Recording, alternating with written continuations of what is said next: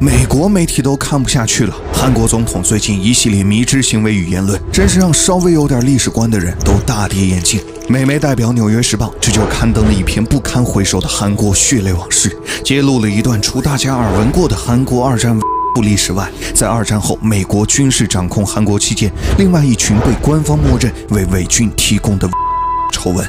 这篇报道标题为《被遗忘的另一群》，他们被韩国政府献给美国大兵。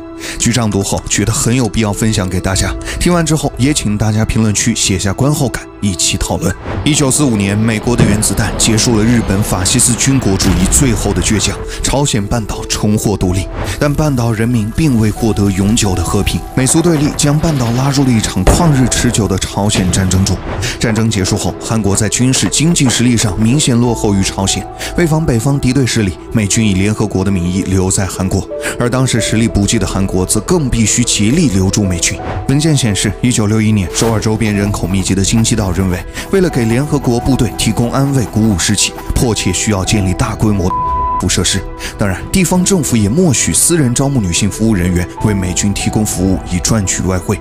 据估计，京畿道管辖范围内的人数达一万人，而且当时还在不断增加。这些女性为五万美军提供服务。《纽约时报》采访了这些女性中的六位，她们讲述了韩国政府如何利用她们谋取政治经济利益，然后弃之不顾，指责韩国政府有系统的、暴力的扣押她们，强迫她们接受提供服务后疾病的治疗。其中一位赵姓女子，一九七七年十七岁时，在首尔北部的东豆川镇遭三名男子绑架后，被卖给了一个皮条客。即将就读高中的她，在接下来的五年里，没能去追逐自己的芭蕾舞梦，反而在皮条客的持续监视下，去附近的一家夜总会为美军士兵提供服务。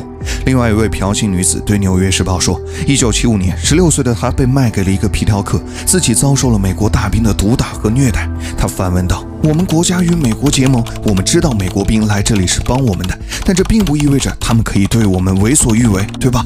一九六九年，尼克松计划减少驻韩美军人数时，韩政府着急了。次年，政府向议会报告说，美军驻军每年给韩国带来的商业收入达一点六亿美元。当时韩国年出口额为八点三五亿美元，占比就高达百分之二十。所谓商业收入，就包括在韩国属于非法的那些特定服务。而这些为美军服务的韩国女性呢，被绑架、被工作承诺诱骗，一次服务的费用五到十美元，全部被皮条客没收。这些美元虽没有直接计入政府收入，但进入了急需硬通货的经济领域。这些女性得到了什么？也许只有韩国官员口中挣美元的爱国者的美称吧。而美军呢？当地美军官员的工作重点是保护士兵不感染疾病，因此这些女性必须每周接受两次检测，检测出问题者强制接受治疗，甚至有女性因青霉素休克而晕倒或死亡。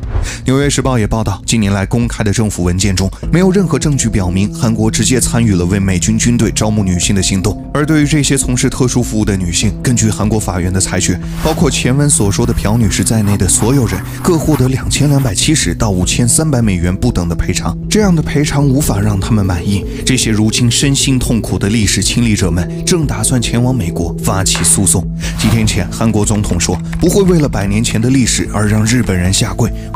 赔偿要求也不再强加给日本，以换取日本接触对韩国半导体材料的贸易限制。